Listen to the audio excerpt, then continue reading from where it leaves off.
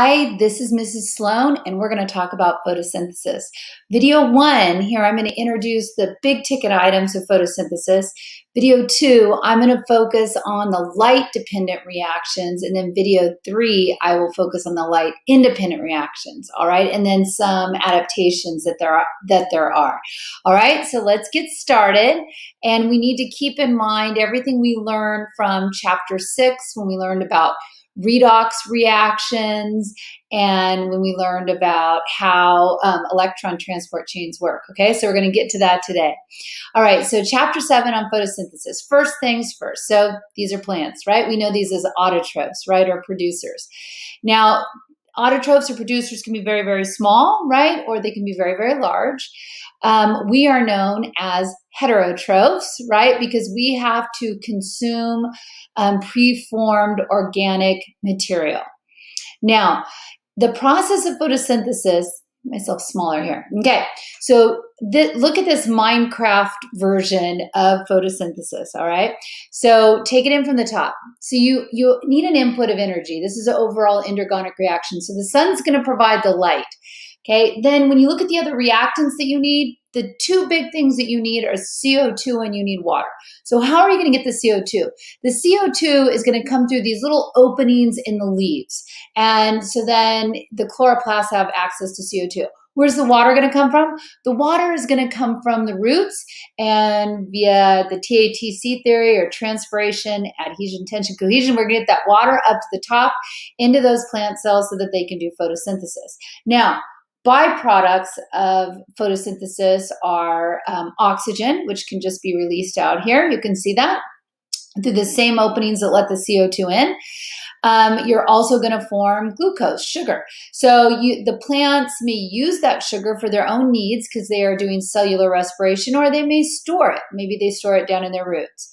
So let's see what else is in this picture that maybe we didn't identify. All right. So you can see loss of water. That would be via transpiration, water evaporating out the open stomata. You can see sugars getting stored down here in the roots. You can see water and nutrients moving up, things that you need like nitrogen and phosphorus and potassium, um, key components and fertilizers are going to come in through the roots. Notice that the roots also need oxygen. The roots are not doing photosynthesis, but what are they doing? cellular respiration, right? So they're going to need oxygen for cellular respiration. So on the basics, the very first block, um, and if you are new to my class, um, the notes are down in the descriptor of the video. Column one is what you fill in, and I have little highlighted places that you want to fill in. And then column two, you should add in pictures like this picture um, to help you understand the process.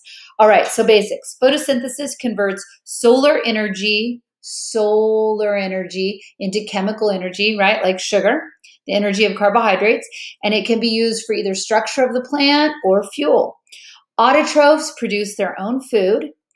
And then you want to add on to that, they produce their own food because they convert the inorganic to organic, convert the inorganic CO2 into the organic sugars. Heterotrophs, like I showed you just a minute ago, uh, here is your heterotroph. Heterotrophs are consumers. They take in preformed organic molecules. Take in preformed organic molecules like plants. They eat plants or they eat fungi or they eat animals who have eaten plants as building blocks and as a source of energy. Oxygen which is a byproduct besides sugar. Oxygen is a byproduct of photosynthesis, um, allows for aerobic respiration to take place, not only in animals like us, but it allows aerobic respiration to take place in plants as well. So your reactants that you have, here's a super simple diagram, right? You have reactants and you have products over here. Your reactants are solar energy, water, and CO2. So solar energy, water, and CO2. Water is up through the roots, if you remember, up through the roots. And CO2 is in through the stomatal openings of the leaves. And both will then diffuse into the chloroplast. So we can identify what gets oxidized and what gets reduced. We actually already did this in chapter six. So this is just a very simplified version that's reminding you that CO2 is going to be reduced into carbohydrates and water is going to be oxidized just to oxygen. All right? Okay, that part's pretty easy. Let's take it a little bit higher now. Um, let's look at the um, structure of a plant, right? So this is a cross section of a leaf, cross section of the leaf. Um, you got some little hairs up there on top. You've got some palisade mesophyll running along the top here. And you've got other mesophyll right here in the middle of the leaf. You see all those little green discs in there, right? The little green discs are going to be chloroplasts. And they've taken one of those green discs and blown it up right here. Here's the chloroplast. And then here's an actual photograph, photograph of a chloroplast, right?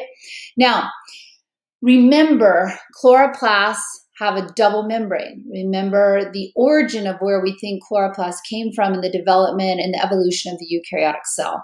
Chloroplasts were probably free living photosynthetic bacteria that got engulfed by a larger bacterium right, and became its chloroplast. Other evidence that we have for that is that chloroplasts have their own DNA. It's a single circular chromosome like what you would find in bacteria. Um, they are self replicating, they have their own ribosomes, they do their own protein synthesis. Okay, now let's take a little closer look inside a chloroplast, which is inside a cell, which is inside a plant, right? Plant plant cells within the plant cells, the chloroplast. So now we're going to the interior of that chloroplast. We can see the double membrane. Then can you see these green pancakes that are all stacked up?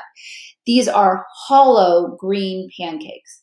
Do you remember? I'm cutting to the chase right here. Do you remember in chapter six when I talked about electron transport chains and na na na na na na na na and how they work, use the energy by passing electrons from a high energy electrons as it gets passed through the chain you capture that energy to concentrate hydrogen ions on one side of a membrane. Yes, creating a chemiosmotic gradient, a difference in concentration, hydrogen ions, right? A difference in charge, hydrogen ions, positive charge, and a difference in pH. A lot of hydrogen ions is a low pH. Okay. That place where you're concentrating all those hydrogen ions are inside those green hollow pancakes. Okay. So when you look inside here, this is where you're concentrating those hydrogen ions. Where is the energy coming from ultimately to concentrate those hydrogen ions? The big yellow thing up in the sky, the sun, is providing the energy ultimately to concentrate those hydrogen ions. Where are those hydrogen ions coming from? Well, what was one of your reactants for photosynthesis? We had CO2 and water. Water is going to be a source of those hydrogen ions H2O, oh, let's release the oxygen. That's a product of photosynthesis, right? So you will use those hydrogen ions. We will concentrate them inside the center of these thylakoid membranes. And guess what? Do they want to stay inside the membrane? No, they don't. They want to go back out. And when they go back out, you will make ATP. All right? So now I know where the oxygen comes from. Now I've got some ATP. There's a couple other things we need. That energy transfer molecule, NADP, we're going to be making some of that as well. And out in the spaces around these pancakes is where the cooking happens. This is where you make the sugar, is out here in the stroma. So I know that was a lot, but I wanted to paint a big overview of what's going to happen in these reactions. So on your chloroplast anatomy, you have, it's a double membrane. The stroma is this fluid surrounding the pancakes, the semi-fluid interior. This is where CO2 is fixed into sugar. And we're going to learn that process. And then the thylakoid membranes are these membranes of these pancakes, right? Okay, these thylakoid membranes. And um, they, oh, why would you want all these folds on all these membranes? What does that increase? Mm-hmm. Yes, surface area, right? Surface area. So for increased surface area, and ATP and reduced NADP is going to be generated on these membranes, and I'll teach you about that. Um, it forms interconnected spaces where hydrogen ions can be concentrated. So they'll be concentrated inside our hollow pancakes. There are pigments embedded in those membranes. Do you know what pigments are for? Pigments are to capture light energy. You know names of pigments like chlorophyll, right? There's chlorophyll A, chlorophyll B. There's actually more than that. But those pigments help capture the light energy and help you transfer that, right, over to NADP um, and you can also make ATP. Right, so pigments are embedded in the membranes, and then you have grana and granum. All of these pancake stacks are grana. A single stack is a granum. Okay, that's good, right? We got that part done. Now, um, let's talk about the overall reaction. You have seen this before, right? So be prepared in class. I'm going to have you draw on this slide and you identify what gets reduced and what gets oxidized, right? And you're going to tell me that this energy right here comes from the sun. The CO2 is going to get what into glucose? It's going to get reduced into glucose. If you don't know what I'm talking about right now, you should go back and watch my chapter six video, part three about redox reactions that will set you up for photosynth photosynthesis. My chapter six, AP Bio, part three. Okay. So CO2 gets reduced into glucose. Um, this water is going to be oxidized into oxygen I didn't mean to do that. Let me go back here. All right. So these hydrogens right here, look, six molecules of water. Each water has two hydrogens. What's two times six? Oh, I know, 12. Okay. Here's CO2 with no hydrogens. And now meh, it has 12.